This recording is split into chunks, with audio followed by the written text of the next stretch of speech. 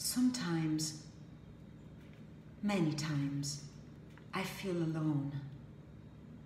And I'm wondering if the direction that I'm taking is the right one, or if I am taking wrong turns.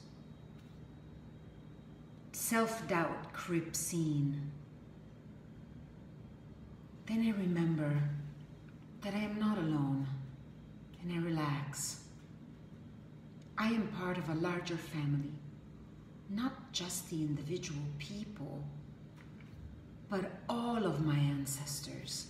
I stand on the shoulders of all the men and the women and everybody in between who helped me to get here.